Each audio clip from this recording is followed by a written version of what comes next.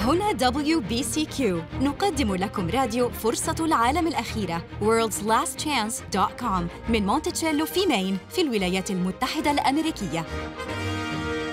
جرائم عنف، اضطراب سياسي، عدم استقرار مالي، كل شيء يشير إلى أن أزمة لا مثيل لها على وشك الحدوث.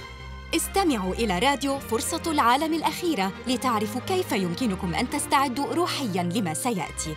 راديو فرصة العالم الأخيرة نحضر الناس لرجوع المخلص الوشيك. درس الكلمة اليوم بعنوان لا أعزم أن أتكلم عن أي شيء آخر سوى المسيح وصلبه. لا أعزم أن أتكلم عن أي شيء آخر سوى المسيح وصلبه. أنا استوحيت العنوان ده من رسالة الرسول بولس إلى أهل كورنثوس الأصح الثاني رسالة الرسول بولس الأولى إلى أهل كورنثوس الأصحاح الثاني وأحبكم تفتحوا معي ونبدأ بالقراءة من عدد واحد. هنا الرسول بولس بيخاطب أهل كورنثوس وبيقول لهم وأنا لما أتيت إليكم أيها الإخوة أتيت ليس بسمو الكلام أو الحكمة مناديا لكم بشهادة يهوه لأني لم أعزم أن أعرف شيئا بينكم إلا يهوشوا المسيح وإياه. مصلوبا وأنا كنت, كنت عندكم في ضعف وخوف ورعدة كثيرة. وكلامي وكرازتي لم يكونا بكلام الحكمة الإنسانية المقنع بل ببرهان الروح والقوة. يهوى يبارك هذه الكلمات اللي هتكون محور دراسة الكلمة لهذا اليوم. بولس بولس العظيم العظيم. بيقول لأهل كورنثوس إنه أنا مش هكلمكم عن أي حاجة تانية غير عن قصة حياة السيد المسيح وصلبه. وبيتكلم بيوصف إن هو لما جالهم أهل كورنثوس بيوصف نفسه إنه كان في ضعف وخوف ورعدة كثيرة. محدش يقدر يتصور إن هذه الكلمات تخرج من فم واحد من أعظم رجال التاريخ واحد من أعظم الرسل وهذا الرسول العظيم رسول يهوى ورسول السيد المسيح. لما بيتكلم عن نفسه بيقول إنه لما راح لأهل كورنثوس راح لهم في ضعف وخوف ورعدة كثيرة. وإنه كلامه وكراسته ما كانوش بالحكمة الإنسانية المعتادة. يعني أنتوا عارفين الناس لما تصف إنسان معين أو خطيب معين أو سياسي معين إنه كلامه مقنع استخدامه للغة مقنع. عنده كاريزما في الكلام عنده كاريزما في المظهر. الرسول بولس ما كانش عنده أي نوع من هذه الصفات ما كانش عنده أي كاريزما وبالعكس بيقول لك أنا كنت جاي لكم في ضعف وخوف ورعدة كثيرة وما كانش عندي ما كنتش بقدم لكم الكلام اللي يعكس حكمة بشرية أو حكمة إنسانية عشان أقنعكم وإنما كنت بعتمد اعتماد كامل على إقناع الروح لقلب المستمع بأن هذا الكلام ينبغي أن ينتبه إليه. هنا الرسول بولس بيذكر وبيقول وبيفكرنا وبيفكر كل الواعظين والكراز وتلاميذ يهوشوا على مر الأجيال. بيفكرهم وبيذكرهم وبيحذرهم إن لما تروحوا تعظوا لما تروحوا تشهدوا وتتكلموا عن المسيح تكلموا فقط عن المسيح وصلبه وبالتالي تتكلموا عن قيامته وبالتالي تكلموا ليه هذه القصة قصة هامة جدا قصة موت وقيامة السيد المسيح وعلاقة هذه القصة بالحياة في العصر القادم. ده كان محور محور رسالة الرسول بولس. وبيعلمنا إزاي لا نعتمد على على قوة الإقناع الشخصية قوة البراهين والأدلة وإنما أن يعتمد الكارز على إيه؟ على برهان الروح. الروح روح يهوى القدوس روح يهوى القدوس هو الذي سيبكت المحبين للحق بأن هذا الكلام حقيقي وهذا الكلام صحيح وهذا الوعظ والإنذار هو من يهوى. طبعا بولس ما ما ما ما جاش لأهل كورنثوس من فراغ. ما ما قررش إنه يجعل هذا الموضوع أو هذا المدخل لتنوير الناس بالحق إنه جاله هذا الفكر من فراغ ومن قرار شخصي وإنما جاله هذا الإصرار على التقيد بتقديم فقط المسيح والمسيح المصلوب من اختبار قاسي جدا حصل له في أثينا. وهذا الاختبار أتصور علم معاه وانحفر في عقله و و وكنتيجة لاختبار لاختباره في أثينا قرر بولس إنه من دلوقتي ورايح لن يعتمد على الحكمة البشرية وإنما سيعتمد على الروح والروح فقط. وأحب عشان تقتنعوا حضراتكم أو أو تختبروا أو تتعرفوا على الاختبار القاسي اللي مر به بولس في أثينا مباشرة قبل توجه بولس إلى كورنثوس. مباشرة قبل توجه بولس إلى كورنثوس مر بأثينا أثينا في اليونان.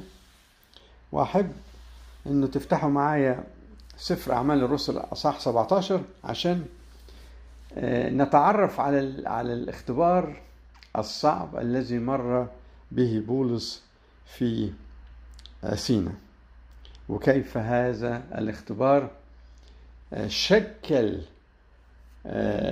توجهه من تلك اللحظة وفي كل كرازاته أو تبشيره المستقبلي بعد أثينا كان محور حديثه هو شيء واحد المسيح وإياه مصلوبا طيب تعالوا نفتح ونقرأ أعمال الرسل من عدد 17 أصحاح 17 من عدد 13 فلما علم اليهود الذين من تسالونيكي أنه في بيرية وإحنا نتكلم كتير عن جمال أهل بيرية أيضا نادى بولس بكلمة يهوى جاء جاءوا يهيجون الجموع هناك أيضا. أول ما اليهود عرفوا أنه راح أهل عند بيرية كمان اليهود أعداؤه الألداء كانوا دايما يروحوا وراه أو يسبقوه إذا عرفوا فين هيروح. ويهيجوا الناس ضد بولس عشان ما يستقبلش بولس ويستمع إليه. عدد 14 من أصحاح 17 في أعمال فحينئذ أرسل الإخوة بولس للوقت ليذهب كما إلى البحر وأما سيلا وتيمساوس فبقيا هناك والذين صاحبوا بولس جاءوا به إلى أسينا وصل إلى أسينا ولما أخذوا وصية إلى سيلا وتيمساوس أن يأتيا إليه بأسرع ما يمكن مضوا. وبينما عدد 16 وبينما بولس ينتظرهما يعني بينتظر سيلا وتيمساوس إنه يلحقوا به في أثينا احتدت روحه فيه إذ رأى المدينة مملوة أصناما. فكان يكلم في المجمع اليهود المتعبدين والذين يصادفونه في السوق كل يوم. فقابله قوم من الفلاسفة الأبيكوريين والرواقيين وقال بعض ترى ماذا يريد هذا المهزار أن يقول؟ في أثينا بولس راح لمجامع اليهود وقدم الحق كما كان يفعل في كل مكان ولكن أثينا كانت مليانة من أهلها من الأثنيين من جماعة من أهل أثينا ودول كانوا يمتازوا بحبهم للفلسفة وبحبهم للجدال والنقاش والتحاور. فسمعوا من كلام بولس كلام غريب. وكان رد فعلهم الأولي إنه هذا الرجل مبتدع أحمق مهزار مبتدع أحمق. إيه الكلام الفاضي اللي بيقوله ده؟ إيه الكلام الفاضي اللي بيتكلمه بولس؟ طبعا مش سهل إنه إنسان يبشر بالحق لناس. اولا حكمت عليك قبل ما تستمع إليك باستفاضة إنه أنت أحمق وإن أنت بتتكلم كلام فاضي ومش عارف بتقول إيه وإن أنت مش مستوى إنه إحنا نتحاور معك. يقول لك إيه؟ نكمل الآية.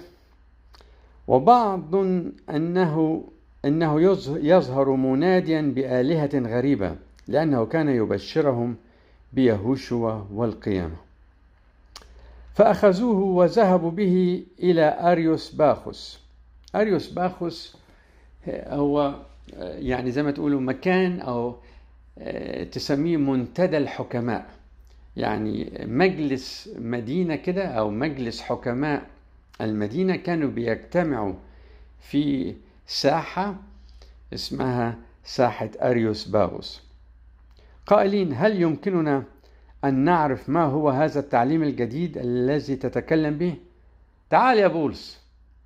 تعال إلى أريوس باخوس وإحنا الحكماء هناك عايزين نسمع منك. هتتكلم وتتفلسف علينا وتقول إيه؟ لأنك تأتي إلى مسامعنا بأمور غريبة فنريد أن نعلم ما عسى أن تكون هذه.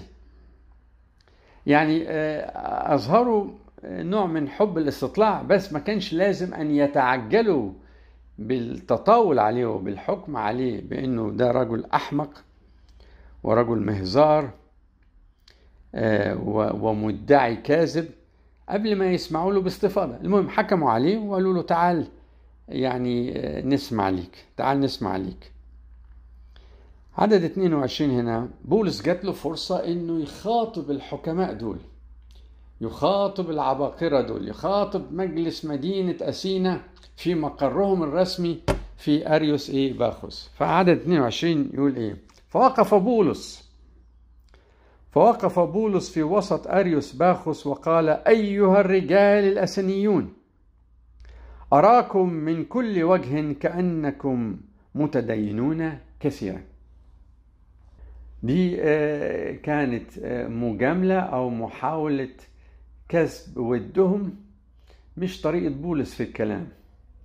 أثينا ما مر به بولس في أثينا أعتبره استثناء وعلى الطريقة التي كان في العادة يتناول فيها بولس الحق مع كل من يريد أن يستمع. هنا لأنه ربما اتاخد أو ربما يعني استصعب هذا الموقف إن هو قاعد في محضر حكماء وفلاسفة اليونان في ذلك العصر فكان عاوز يلطف الأجواء بقدر المستطاع فاستخدم أسلوب مجاملة يعني أقول فيها الكثير من المبالغة. ومش بولسيه مش دي طريقة بولس ولكن هذا ما حدث في أثينا. قال لهم أراكم من كل وجه كأنكم متدينون كثيرا. لأنني بينما كنت أجتاز وأنظر إلى معبوداتكم وجدت أيضا مذبحا مكتوبا عليه لإله مجهول. فالذي تتقونه وأنتم تجهلونه هذا أنا أنادي لكم به.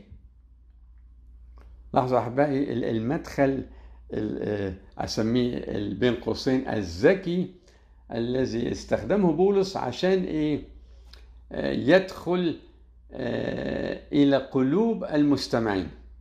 هنا ما كانش بولس حتى هذه اللحظة معتمد على تبكيت الروح وإنما كان عاوز يدخل لهم دخلة ذكية يزنقهم بالحكمة يزنقهم بذكائه ويجعلهم يتقبلوا الحق يتقبلوا الحق بهذا المدخل وهذه المجاملة اللي أسميها مرة تانية مش طريقة بولس المعتادة مش طريقة بولس المعتادة. عدد 24 الإله الذي خلق العالم وكل ما فيه هذا إذ هو رب السماء والأرض لا يسكن في هياكل مصنوعة بالأيادي. ولا يخدم بأيادي الناس كأنه محتاج إلى شيء.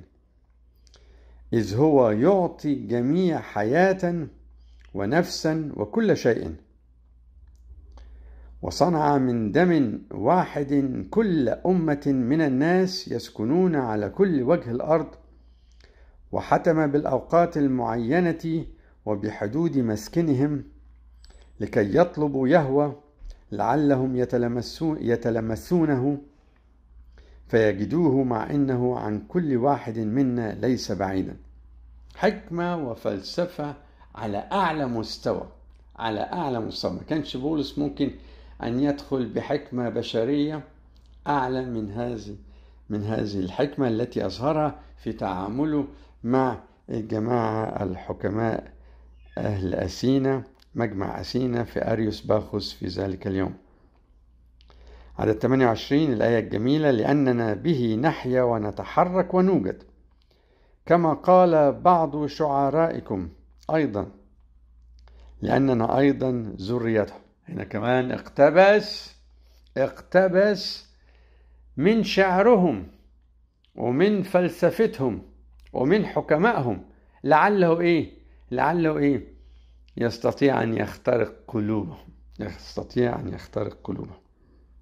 عدد 29 فإذ نحن ذرية يهوى لا ينبغي أن نظن أن اللاهوت شبيه بذهب أو فضة أو حجر حجر نقش صناعة واختراع إنسان.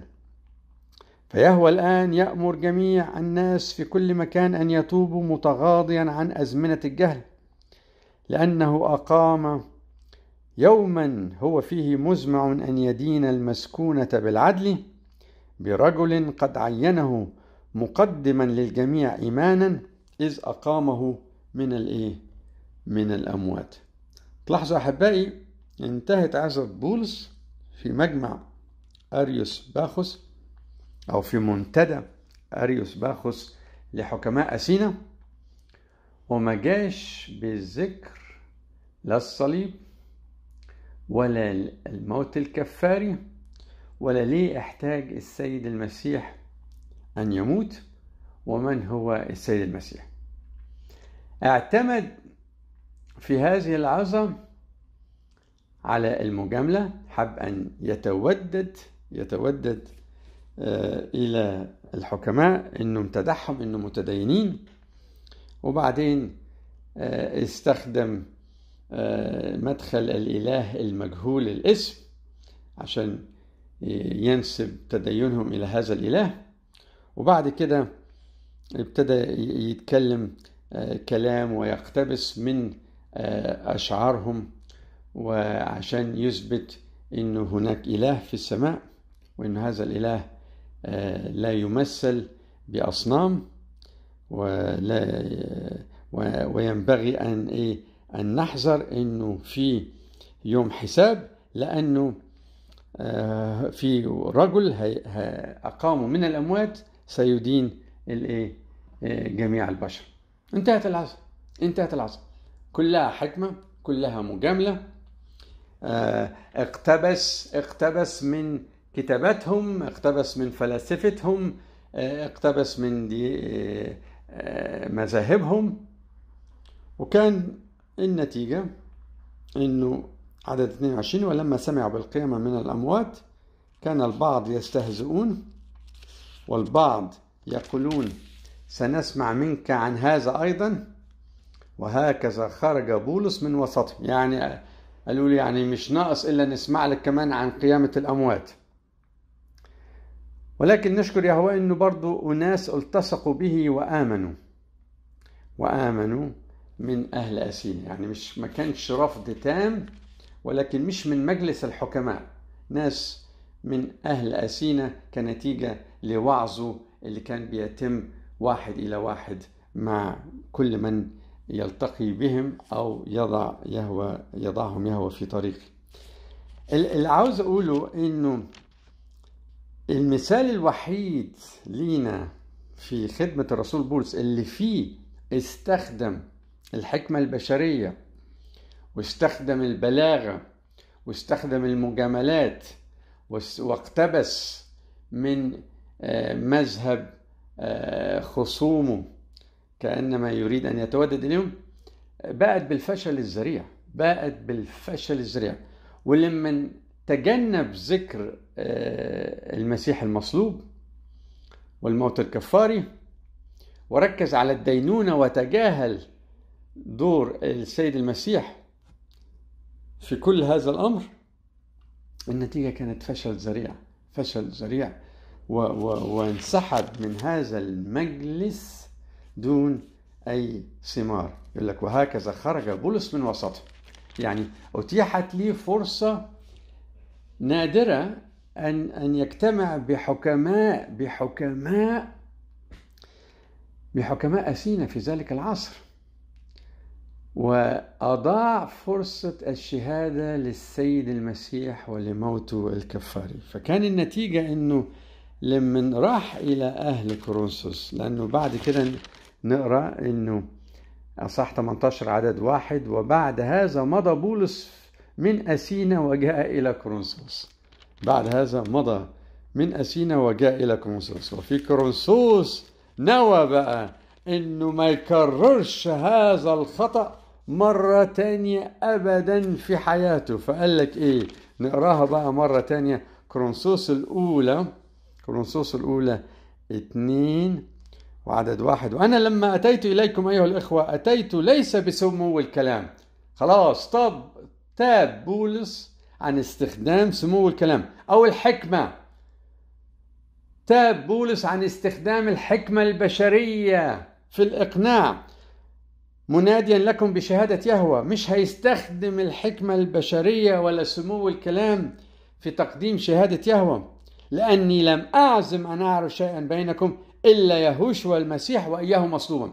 يهوشوا المسيح وإياه مصلوبا ما كانش ده صلب العظة التي قدمها بولس لحكماء أسينا لأنه ما تقدرش تجمع السيد المسيح وصلبه وموته الكفاري وتستخدم الحكمة البشرية والفلسفة لأنه الاثنين على طرفي نقيض. الحكمة تلغي الحكمة تلغي الموت الكفاري. النهاردة لما تيجي تتكلم عن الموت الكفاري للسيد المسيح يقول لك إيه الكلام الفاضي ده؟ الكلام الفاضي؟ أذكر في يوم من الأيام أخ مسلم عزيز أتعامل معاه في الشغل أتعامل معاه في الشغل. ولما شاركته عن الموت الكفاري للسيد المسيح وإزاي هو في حاجة لأن يدرك أنه بأعماله لا يستطيع أن يخلص بأعماله لا يستطيع أن يخلص. وإنه أي دين وأي مذهب مبني على الخلاص بالأعمال فقط هذا مخالف لتعليم الكتاب لأنه بالأعمال لا نستطيع أن نسترضي يهوه لما تكلمت الأخ العزيز المسلم بهذا الكلام رغم إنه في بيننا يعني نوع من الاحترام المتبادل قال لي إيه الكلام الفاضي ده؟ إيه الكلام الفاضي ده؟ مفيش حاجة اسمها موت كفاري إيه ذنب واحد يموت عني؟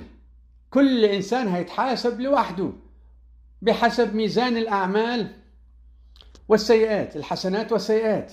إيه الكلام الفاضي ده؟ قال لي بالكلمة الحرف الواحد إيه الكلام الفاضي ده؟ إيه الموت الكفاري؟ إيه الخرافات دي؟ هنا أحبائي بولس لما حاول أن يستخدم الحكمة مع حكماء أهل اثينا حكماء أهل اثينا كان النتيجة الرفض المطلق. لأنه لم يعتمد على تبكيت الروح القدس. فنوى بعد ذلك بعد هذا اختبار أسينا المؤلم والمرير إنه اللي يجي عند كورنثوس أهل كورنثوس قال لا خلاص تبت. تبت إنه أستخدم سمو الكلام أو الحكمة لأني لم أعزم أن أعرف شيئا بينكم إلا يهوشوا المسيح وإياه مصلوبا. وأنا كنت عندكم في ضعف عادة لما الإنسان يبقى طلق ولبق وعنده كاريزما ما يقفش ويتكلم في ضعف وخوف ورعدة كثيرة. بالعكس ده هو بيعتمد على بلاغته على ذكائه على لبقته على سلاسة الكلام المنمق المتدفق من فمه فيقعد بكل ثقة ويتكلم لأنه هو معتمد على كاريزمته الشخصية. بولس تعلم وأدرك إنه يا إما هو يكون المتكلم بالحكمة البشرية يا إما يكون أداة للروح القدس لتبكيت كل من يستمع إليه. عشان يكون أداة للروح القدس للتبكيت كل من يستمع إليه ينبغي أن يختفي بولس يختفي حتى تكون الكلمات الخارجة منه لها الفرصة أن تبكت المستمع. لما أنت تنبهر بالمتكلم لما أنت تنبهر وتنجذب إلى هيئته وإلى شكله وإلى كلامه وإلى كاريزمته. ما ده اللي بيحصل في في السياسة اليوم. إيه اللي بيخلي واحد ينجح وسياسي آخر يفشل؟ هي اللباقه والكاريزما والحضور. والثقة بالنفس والثقة بالنفس. خدام يهوى. لا يستطيعون أن يتمتعوا بتبكيت الروح القدس لمستمعيهم إلا إذا هم اختفوا هم اختفوا عشان يكون كل المسرح مهيئ للروح القدس. فهنا عشان كده يقول لي لا اني لم أعزم أن أعرف شيئا بينكم إلا يهوشع المسيح وإياه مصلوبا. وأنا كنت عندكم في ضعف وخوف ورعدة كثيرة. خايف لا تضيع منه فرصة تانية كما ضاعت منه في أسينا إنه الروح القدس لا تتاح لي الفرصة أن يبكت. لأن الروح القدس لا يستطيع أن يبكت. الآخرين وأنت بتركز كمتكلم كواعظ كخادم وأنت بتركز أو بتستخدم الحكمة البشرية وبتستخدم حضورك وثقتك بالنفس والمظهر وكل هذا الشيء وكل هذه المظاهر اللي بيعتقد فيها بعض الوعاظ والكارزين إنه دي اللي هتجتذب النفوس إلى الحق. أنا أطلع بثقة وأتكلم بثقة وأعز بكل قوة واعز وأعز وأنا مملوء كده بالشجاعة وبالالهام لا أحبائي بولس اتعلم من اختبار اسينا من اختبار اسينا إنه ينبغي أن يختفي هو عشان يكون التركيز فقط على يهوشوا وإياه مصلوبا ويكون التركيز مش على المتكلم وإنما التركيز أو على الروح يهوى إنه يعطى الفرصة ليخاطب قلوب المستمعين. واحدة من الحاجات أحبائي اللي إحنا في فرصة العالم الأخيرة بنفضلها عن أي وسيلة أخرى هي حلقات الراديو. ليه بنفضل حلقات الراديو عن أي وسيلة أخرى؟ للتواصل مع المحبين للحق. لأنه المتكلم بيختفي. المتكلم لا يظهر. مش هتحصل أي مش هيحصل أي انجذاب لشخص المتكلم وإنما الانجذاب سيكون فقط للكلمات التي تخرج بقوة الروح القدس وتخاطب القلب والعقل. مش هتنتبه إلى الواعظ شكله إيه لابس إيه متحلي بايه تشوف الوعاظ بتوع التلفزيون بتوع التلفزيون المظهر بتاعهم والخواتم اللي لابسينها وال... والشعر المصفوف وال... والثياب الغالية.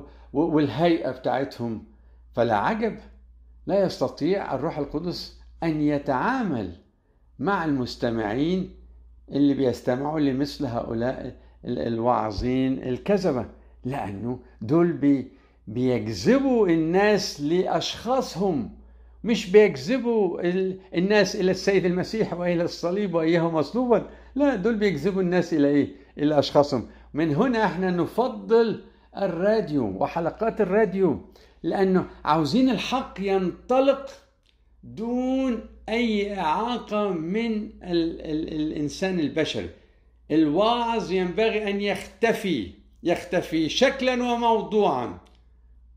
وإنما فقط ما يبقى في عقل المستمع هي العظة هي الكلمات كلمات الحق آيات الحق.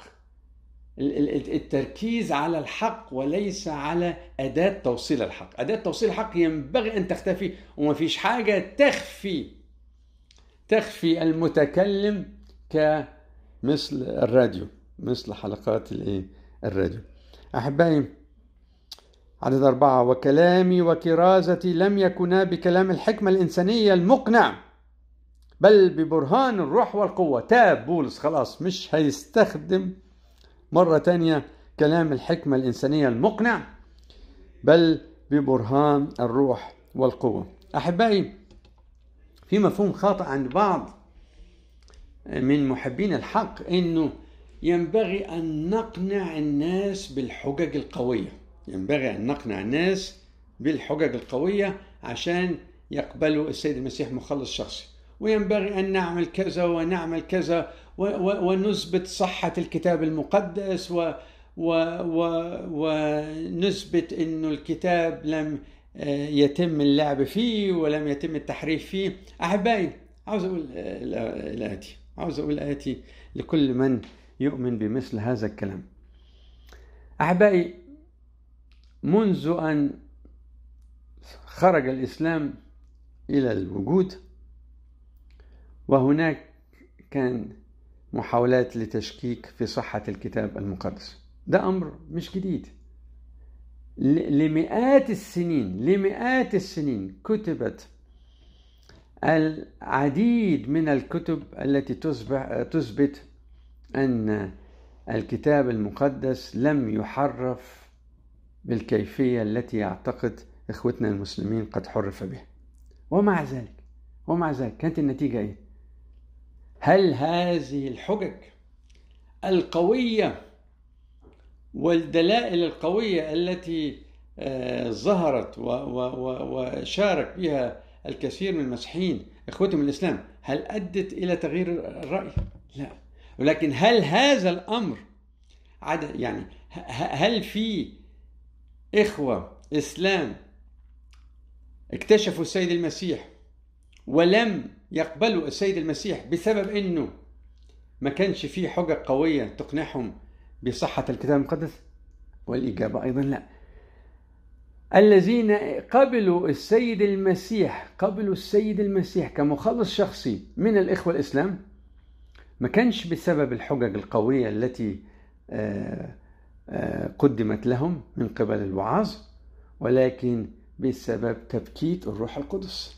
تبكيت الروح القدس لأنه كل من يبحث عن الحق سواء كان في اليهودية سواء كان في المسيحية سواء كان في الإسلام سواء كان في الهندوسية أو كان ملحد. كل من يبحث عن الحق إذا أنت بتبحث عن الحق يهوى بروح القدوس هيخاطبك وهيقول لك نعم هذا هو الحق.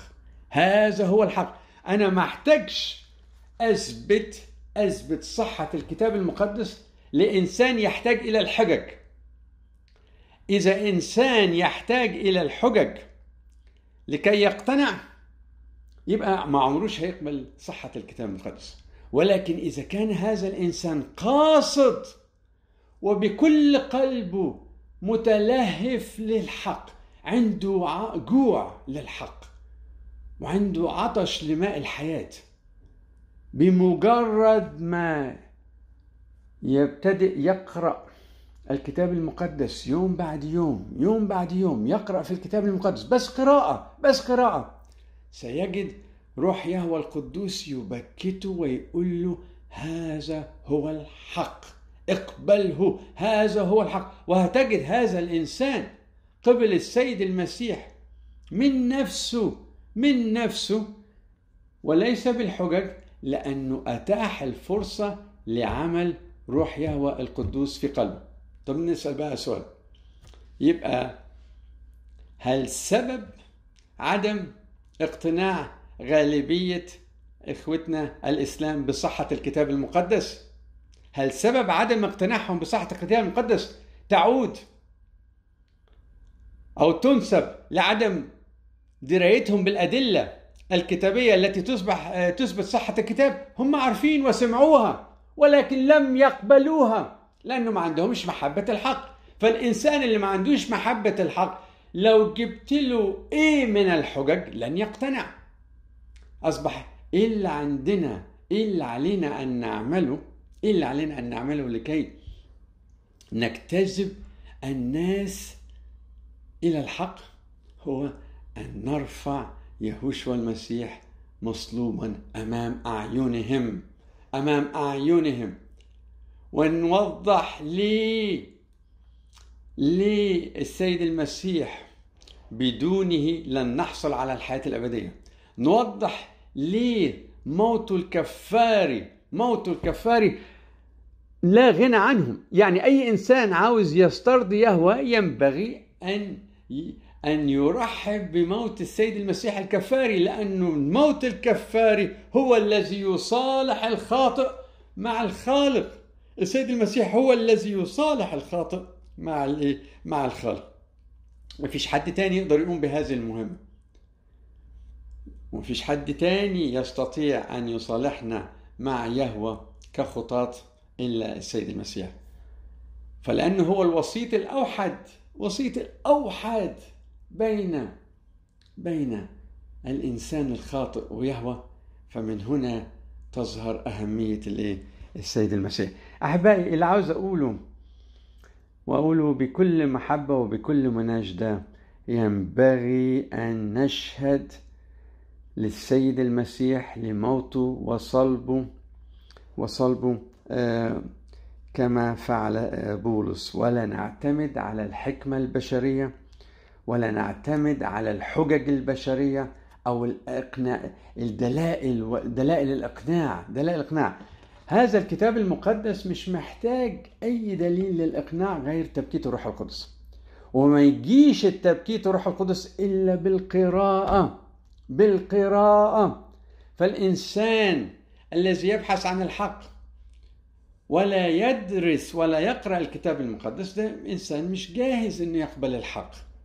مش جاهز أن يستجيب لتبكيت الروح القدس. فقط الإنسان سواء كان يهودي سواء كان مسيحي سواء كان مسلم فقط الإنسان الذي يقرأ الكتاب المقدس بإخلاص وبرغبة صادقة في التأكد هل هذا هو كلام يهوه أم لا. هو أمامه كتابين. أمامه كتابين. ينبغي أن يقرأ هذا ويقرأ ذاك. وبعدين يقول لي روح القدس طب أنا حيران أنا أمامي كتابين. والكتابين على طرفي نقيض. وأنا عاوز أخلص. أنا عاوز أسترضي يهوى يهوى الحقيقي الإله الذي خلقني بس أنا قدامي كتابين أعمل إيه؟ أعمل إيه؟ الإنسان الذي يبحث عن الحق الإنسان الذي يبحث عن الحق هيعرف هيعمل إيه؟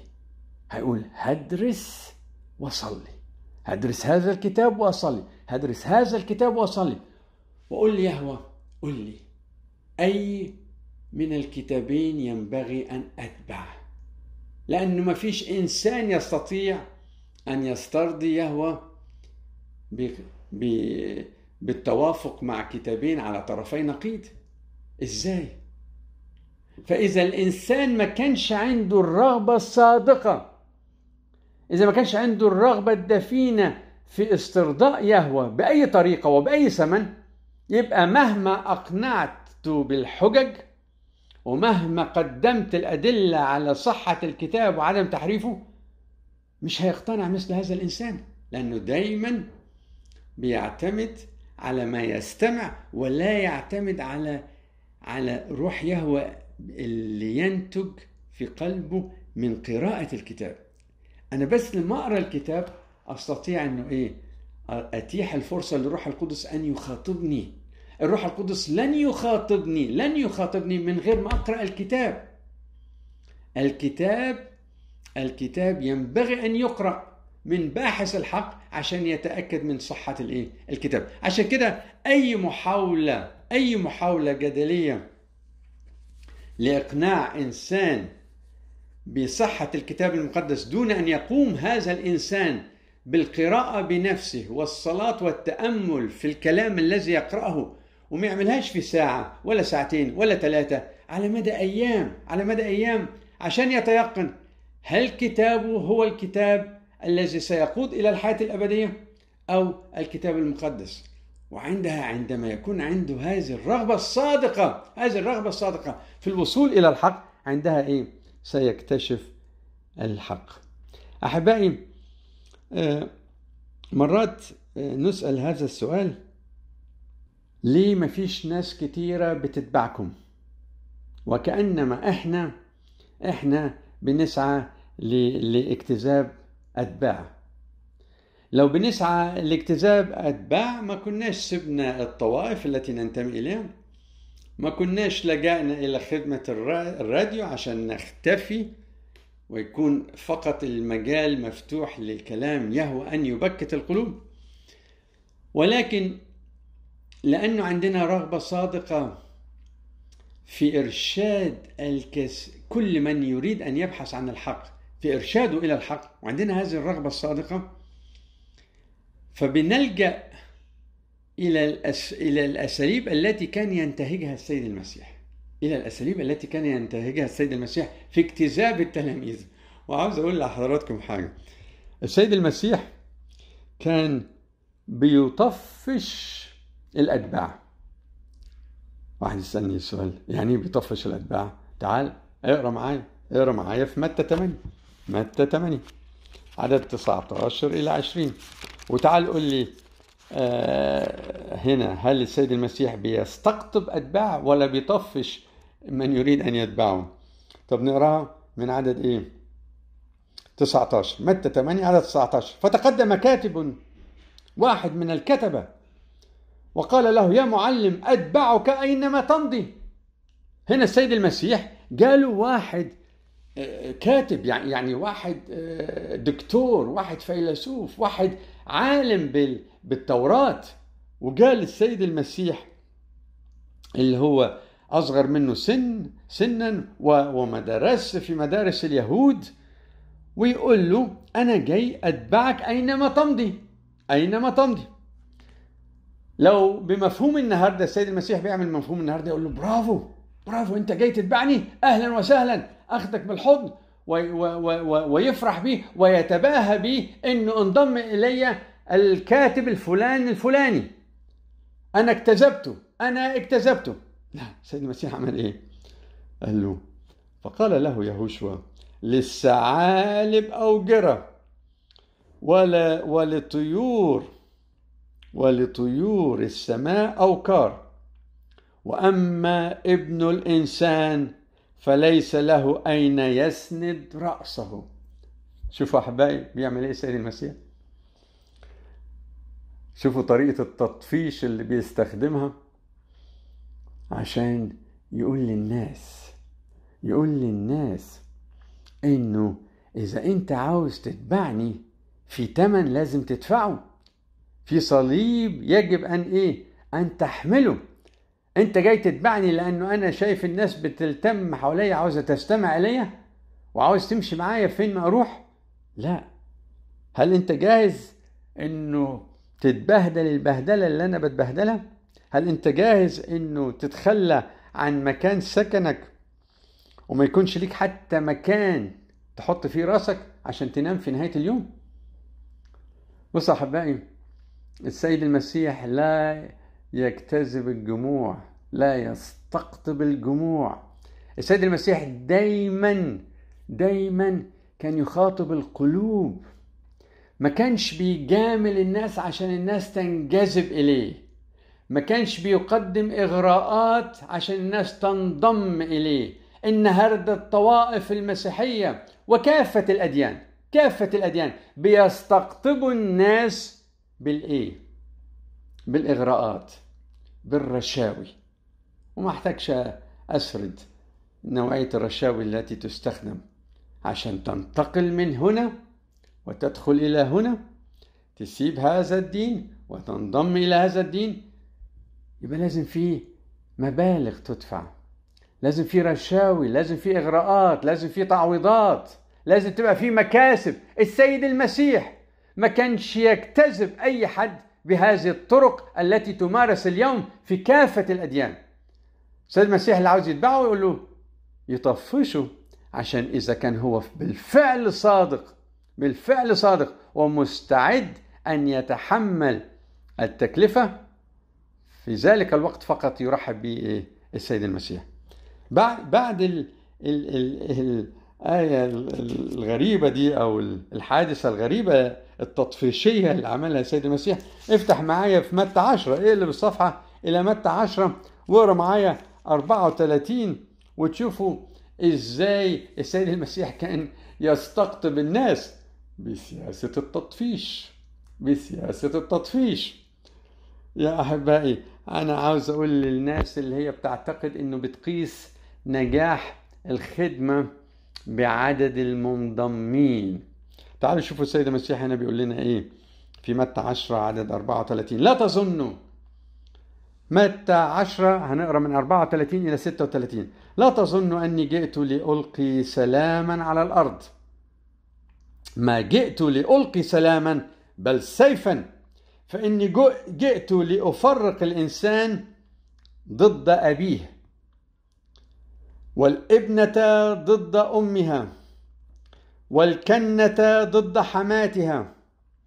وأعداء الإنسان أهل بيته. عاوز أسأل سؤال؟ هذا الكلام يجتذب أتباع ولا يطفش الأتباع؟ يجتذب الناس لاتباع السيد المسيح ولا يخيف الناس من اتباع السيد المسيح؟ ولكن هذا هو الواقع. قبولك للسيد المسيح قبولك للسيد المسيح كمخلص شخصي ليك. قبولك للموت الكفاري. لموته. قبولك لموت المسيح الكفاري عن خطاياك. عن خطاياك. هيكون بمثابة سيف. بمثابة سيف هيفرقك عن أهل بيتك. أحبائي إذا أنت تعرف أي إنسان قبل السيد المسيح وقبل الحق وأهل بيته فرحوا بيه. عرفني عليه لأنه أنا لم ألتقي بمثل هذا الإنسان. لم ألتقي بإنسان في حياتي الممتدة. قبل السيد المسيح قبول حقيقي ومن كل القلب وقبل أن يحمل صليبه ووجد سلام في بيته. لم أجد مثل هذا الإنسان بالعكس بمجرد ما يعلن هذا الإنسان بمجرد ما يعلن هذا الإنسان قبوله للحق وبمجرد ما يحصل تغيير في حياته كنتيجة لقبوله للحق تبدأ الثورة عليه. والثورة تبدأ من أهل بيته. إذا كان متزوج من الزوجة إذا كانت متزوجة من الزوج الزوج يقول للزوجة أنا ما اتجوزتكيش كده. أنا عاوز الزوجة اللي اتجوزتها الفتاة اللي حبيتها. أنت اتغيرتي وإذا كانت هي التي وإذا كان الزوج هو الذي تغير الزوجة تقول له مش أنت ده اللي أنا حبيته. أنا عاوز الزو... الرجل الذي حبيته. وأحبائي يا ما شفنا أسر تنقسم. وأقارب ينقلبون على من يقبل الحق. ينقلبون تماما كما قال السيد المسيح لا تظنوا أني جئت لألقي سلاما على الأرض. ما جئت لألقي سلاما بل سيفا فإني جئت لأفرق الإنسان ضد أبيه. السيد المسيح لم يدخل في الحياة. ينبغي أن في حياة مؤمن ما هذا المؤمن ينبغي أن يختار إما المسيح يا إما أبوه يا إما المسيح يا إما زوجته يا إما المسيح يا إما أولاده يا إما المسيح يا إما رب العمل. أحبائي هتلاقي أول ما إنسان يقبل الحق تقوم عليه ثورة سواء في العمل في البيت في الأقارب ويبتدي يحارب. وفي كثير من الأحيان في كثير من الأحيان يضطر من قبل إلى الحق أن يتراجع لكي يستعيد السلام مرة أخرى في حياته. ولكن هذا السلام دفع فيه ثمن غالي جدا وهو خسارة السيد المسيح. إذا ما كانش المؤمن عنده الإصرار عنده الإصرار أن يضحي بكل شيء ولا يضحي بالحق أن يضحي بكل شيء ولا يضحي بالحق فلن يحصل على الخلاص أو على البر بر السيد المسيح. ينبغي أن يكون الإنسان الذي يبحث عن الحق مستعد مستعد لدفع أي ثمن. كملوا معايا في متى عشرة. أيضا في سياسة يهوى التطفيشية يهوشوا التطفيشية. يقول إيه؟ عدد 38 إلى 39 38 إلى 39 ومن لا يأخذ صليبه ويتبعني فلا يستحقني. إذا أنت مش مستعد أنه تدخل في حرب من أجل السيد المسيح. تدخل في حرب من أجل السيد المسيح. حرب مع أي إنسان. وأنا هنا بتكلم مش حرب جسدية وإنما حرب روحية. يعني مستعد أدفع أي ثمن ولا أضحي بالمسيح. هنا يقول لي إيه؟ من لا يأخذ صليبه ويتبعني فلا يستحق. أنت عاوز تنضم إلى مسيح من غير صليب فهذا المسيح اللي أنت بتنضم إليه هو مسيح كاذب. هو مسيح كاذب. أنت ما قبلتش المسيح الحقيقي. المسيح الحقيقي إذا تقبله يبقى هيبقى فيه حرب في صليب. إذا حياتك ما فيهاش صليب بسبب قبولك لسيد المسيح يبقى أنت قبلت مسيح معدل. يبقى انت قبلت مسيح بالاسم وليس مسيح بالايه؟ بال بالفعل. هنا يقول إيه؟ اكمل الآية بعد 39 من وجد حياته يضيعها. من وجد حياته يضيعها ومن أضاع حياته من اجلي يجدها. إذا أنا مش مستعد أضيع حياتي وأضيع عمري وأخسر كل ما أملك. من أجل السيد المسيح؟ إذا أنا مش مستعد أن أحمل الصليب فأنا لا أستحق المسيح. وبالتالي نسأل هذا السؤال اليوم. ليه عدد الذين يقبلون الحق قلائل؟ لأنه مش مستعدين أن يحملوا صليب السيد المسيح. مش مستعدين أن يضحوا بحياتهم. مش مستعدين أن يعانوا من أجل السيد المسيح. عشان كده تشوف انه المسيحية النهارده مسيحية فاترة وبالاسم بالاسم فقط لأنه ما فيش حد حامل أي صليب. ما فيش حد مستعد للتضحية بكل شيء ولا أن يضحي بولائه للسيد المسيح للسيد المسيح. أحبائي بولس بعد اختباره المرير في أثينا بعد ما اكتشف انه الطريقة الحقيقية لتقديم الحق هي بإعلان المسيح وبرفع المسيح المصلوب والمقام من أجل تبريرنا من إعلان أن هناك ثمن ينبغي أن يدفع لكل من يريد أن يحصل على الحياة الأبدية. من غير إعلان هذه الحقائق مش هيكون في فرصة للروح القدس أن يبكت القلوب ويميز يميز المسيح الحقيقي عن المسيح المزيف. النهاردة المسيحيين هم مسيحيين بالاسم بالاسم لأنه لم يقبلوا المسيح الحقيقي الذي يطلب منهم أن يضحوا بحياتهم من أجلهم من أجله. إذا هم مش عاوزين يضحوا بعلاقة فرد من الأسرة. مش عاوزين يخسروا هذا الفرد. مستعدين يتنازلوا يتنازلوا لهذا الفرد. ويتنازلوا عن المسيح بس ما يتنازلوش عن عن سلامهم مع هذا الفرد. هذا الإنسان لا يستحق المسيح. إذا أنت تفضل رضا رب العمل عليك رضا رب العمل عليك عن رضا السيد المسيح عليك رضا السيد المسيح عليك يقول إيه؟ إن كنتم تحبونني فأحفظوا إيه؟ وصاياي. كما أنا حفظت وصايا أبي. إذا أنا مش قادر أحفظ وصايا يهوى التي حفظها السيد المسيح لأنه لو حفظت وصايا يهوى هخسر رضا رب العمل يبقى أنا مسيحي بالكذب. يبقى أنا مش مسيحي. يبقى أنا مسيحي بالاسم. ولكن هذا المسيح الذي أنتسب إليه مسيح كاذب مسيح لا يغير مسيح لن يمنحني الحياة الأبدية مسيح لن يستجيب إلى صلواتي. أهل كورنثوس اكتشفوا عن طريق بولس المسيح الحقيقي المسيح الحقيقي الذي لم يقدمه بولس إلى أهل أثينا.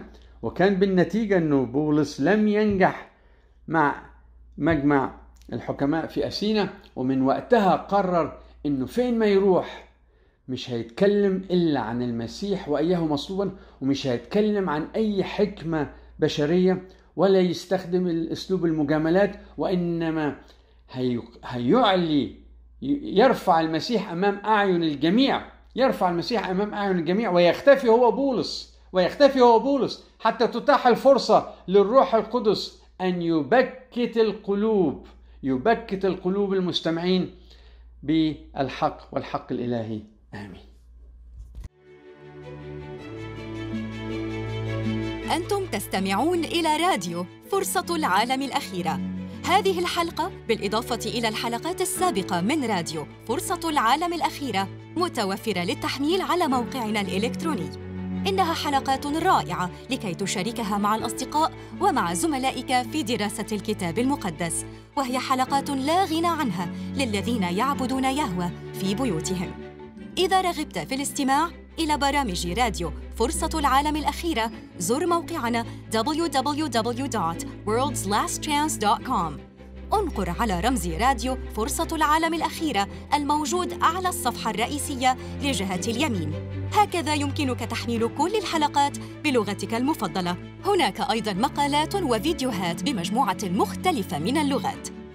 انضموا إلينا غداً لتستمعوا إلى رسالة مليئة بالحق عبر WBCQ على موجة 9330 كيلو هرتز وعلى تردد 31 متراً. راديو فرصة العالم الأخيرة. نحضر الناس لرجوع المخلص الوشيك.